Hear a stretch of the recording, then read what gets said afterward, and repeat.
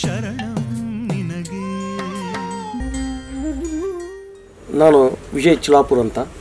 ನಮ್ಮ ಪ್ರಾಪರ್ ಬಂದ್ಬಿಟ್ಟು ಗುಳೇದಗುಡ್ಡ ನೇ, ಬಾಗಲಕೋಟೆ ಡಿಸ್ಟಿಕ್ ನಾನೀಗ ಡಾಕ್ಟರ್ ಸಾಯಿಲ್ ಯೂಸ್ ಮಾಡ್ತಾ ಇರೋದ್ರಿಂದ, ಇಂದ ಇಲ್ಲಿ ತಗೊಂಡ್ಸಲ್ಲಿ ನಾನು ಫಾಲೋ ಯೂಸ್ ಮಾಡ್ಕೊಂಡಿದ್ದೀನಿ ಇದರಲ್ಲಿ ಯೂಸ್ ಮಾಡ್ತಾ ಇರೋದ್ರಿಂದ ನನಗೆ ನಿಮ್ಟೈಡ್ಸ್ ಮತ್ತು ಗಂಟು ರೋಗಗಳು ಕಡಿಮೆ ಆಗ್ತಾ ಇದೆ.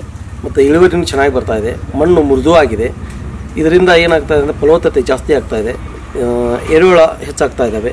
ಮತ್ತು ಅದರಲ್ಲಿ ನನಗೆ ಈ ಕಾರ್ನೇಷನ್ ಮಾಡ್ಬೇಕಾದ್ರೆ ಫಸ್ಟು ಗ್ರೋತ್ ಬರಬೇಕಂತಂದರೆ ಎಲ್ಲ ರಾಸಾಯನಿಕ ಗೊಬ್ಬರ ಯೂಸ್ ಮಾಡಬೇಕಂತ ಹೇಳ್ತಾ ಇದ್ರು. ಬಟ್ ನಾ ರಾಸಾಯನಿಕ ಗೊಬ್ಬರ ಯೂಸ್ ಮಾಡಲಾರ್ದೆ ಈ ಡಾಕ್ಟರ್ ಸಾಯಿಲ್ ಯೂಸ್ ಮಾಡೋದ್ರಿಂದ ಹೆಚ್ಚಾಗಿ ಫಲವತ್ತತೆ ಜಾಸ್ತಿ ಆಗ್ತಾ ಇದೆ ಮತ್ತು ಇಳುವರಿನೂ ಜಾಸ್ತಿ ಬರ್ತಾ ಇದೆ. ಖರ್ಚು ಅದಕ್ಕಿಂತ ಕಂಪ್ಯಾರಿಸನ್ ಮಾಡಿದರೆ ಕಡಿಮೆ ಆಗ್ತಾ ಇದೆ. ಅದಕ್ಕೂ ಇದಕ್ಕೂ ಏನಿಲ್ಲ ಅಂದರೂ ಸೆವೆಂಟಿ ಫೈವ್ ಪರ್ಸೆಂಟೇಜ್ ಕಡಿಮೆ ಆಗುತ್ತೆ ಅಂತ ಹೇಳೋಕ್ಕೆ ಇಷ್ಟಪಡ್ತಾ ಇದ್ದೀನಿ.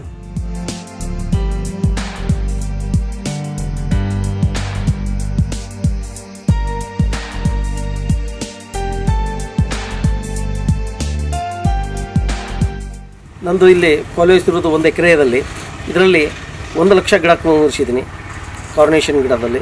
ಇದರಲ್ಲಿ ಆರ್ದ ವಿಧ ವಿಧ ತಳಿಯ ಆರು ಕಲರ್ ಇದ್ದಾವೆ ಇದರಲ್ಲಿ ಒಂದು ಲಕ್ಷ ಗಿಡವನ್ನು ಡಾಕ್ಟರ್ ಸಾಯಿಲನ್ನು ಯೂಸ್ ಮಾಡೋದ್ರಿಂದ ನನಗೆ ಎರಡು, ಮೂರು ತಿಂಗಳಲ್ಲೇ ನನಗೆ ಫಲ ಕೊಡೋದಕ್ಕೆ ಸ್ಟಾರ್ಟ್ ಆಗ್ತಾ ಇದೆ.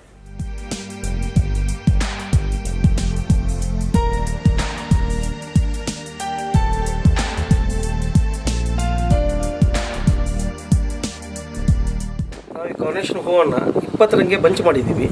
ಈ ಒಂದು ಬಂಚಿಗೆ ನೂರ ಇಪ್ಪತ್ತರಿಂದ ನೂರ ಐವತ್ತರ ತನಕ ಹೋಗುತ್ತೆ ಸೀಸನ್ ಇದ್ದಲ್ಲಿ. ಈ ಸದ್ಯಕ್ಕೆ ಪ್ರೆಸೆಂಟ್ ಒನ್ನೂರ ರೇಟ್ ಇದೆ. ಸಬ್ಸ್ಕ್ರೈಬ್ ಮಾಡಿ ಈ ವಿಡಿಯೋವನ್ನು ಶೇರ್ ಮಾಡಿ ಲೈಕ್ ಮಾಡಿ.